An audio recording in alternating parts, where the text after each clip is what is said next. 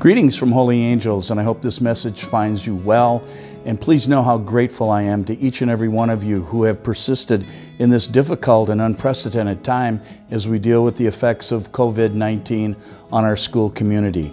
I want to especially thank our faculty, staff, students, and parents who have helped in making this a quality program of online education. We're ahead of the pack, and I congratulate each and every one of you for your efforts in this regard.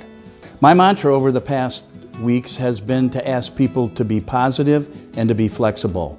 The use of these two words will help us overcome the challenges that we face and get us to the end of this tunnel sooner than later.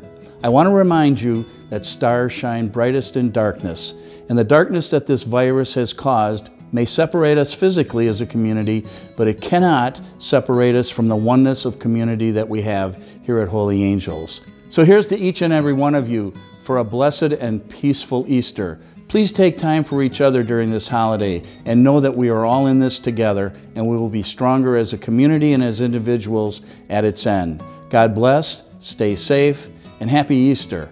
And finally, go Stars.